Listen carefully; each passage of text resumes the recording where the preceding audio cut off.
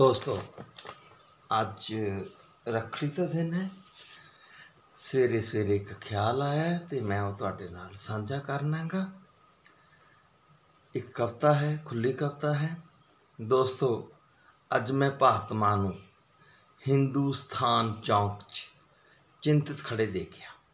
ਦੋਸਤੋ, ਅੱਜ ਮੈਂ ਭਾਰਤ ਮਾਂ ਨੂੰ ਹਿੰਦੁਸਤਾਨ ਚੌਂਕ ਵਿੱਚ ਚਿੰਤਿਤ ਖੜੇ ਦੇਖਿਆ। ਮੈਂ ਪੁੱਛਿਆ ਹੇ ਮਾਂ, ਤੇਰੇ ਹੱਥ ਵਿੱਚ ਇਹ ਪੁਰਾਣੀਆਂ ਰੱਖੜੀਆਂ ਦੀ ਗੁੱਥੀ ਕਿਉਂ ਹੈ? ਮੈਂ ਪੁੱਛਿਆ, ਹੇ ਮਾਂ, ਤੇਰੇ ਹੱਥਾਂ ਵਿੱਚ ਇਹ ਪੁਰਾਣੀਆਂ ਰੱਖੜੀਆਂ ਦੀ ਗੁੱਥੀ ਕਿਉਂ ਹੈ? ਮਾਂ ਚੁੱਪ ਰਹੀ। ਮੈਂ ਫੇਰ ਪੁੱਛਿਆ, ਮਾਂ, ਰੱਖੜੀ ਦੇ ਦਿਨ ਰੱਖੜ ਪੁੰਨਿਆ ਦੇ ਮੌਕੇ ਤੇ ਤੂੰ ਉਦਾਸ ਕਿਉਂ ਹੈ? ਕੋਈ ਮਾਮਾ ਤੇਰੇ ਤੋਂ ਰੱਖੜੀ ਬਣਾਉਣ ਨਹੀਂ ਆਇਆ?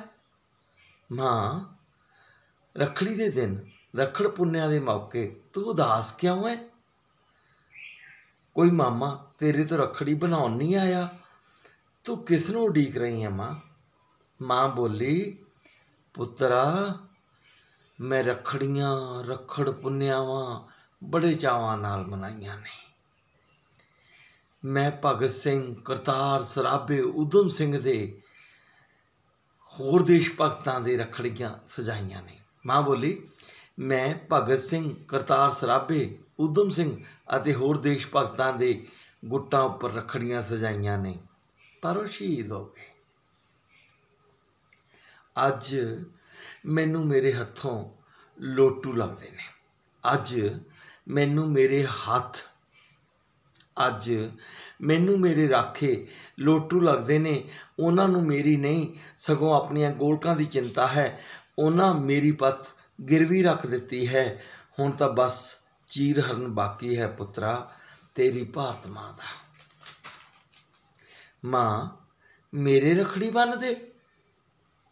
ਉਸ ਪੁੱਛਿਆ, ਭਾਰਤ ਮਾਂ ਨੇ ਪੁੱਛਿਆ, ਇੱਕ ਇੱਕ ਨਹੀਂ ਮਾਂ 75 ਰਖੜੀਆਂ 75 ਰੱਖੜ ਪੁੰਨਿਆਵਾਂ ਦੇ ਸੁਨੇਹੇ ਮੈਨੂੰ ਦੇ। ਮੈਂ ਤੇਰੀ ਰਾਖੀ ਕਰਾਂਗਾ। ਮੈਂ ਤੇਰੀ ਰਾਖੀ ਕਰਾਂਗਾ। ਇੱਕ ਨਹੀਂ ਮਾਂ 75 ਰੱਖੜੀਆਂ 75 ਰੱਖੜੀ ਪੁੰਨਿਆਵਾਂ। 75 ਰੱਖੜ ਪੁੰਨਿਆਵਾਂ। ਦਾ ਸੁਨੇਹਾ ਮੈਨੂੰ ਦੇ ਮਾਂ, ਮੈਂ ਤੇਰੀ ਰਾਖੀ ਕਰਾਂਗਾ। ਮੈਂ ਗੋਦੀ, ਮੋਦੀ ਜਾਂ ਲਾਲ ਕਿਲਾ ਨਹੀਂ ਮਾਂ। ਮਾਂ, ਮੈਂ ਤੇਰੀ ਵਿਰਾਸਤ ਆ। ਮੈਂ ਕਿਸਾਨ ਆ ਮਾਂ। ਮੈਂ ਕਿਸਾਨ ਆ।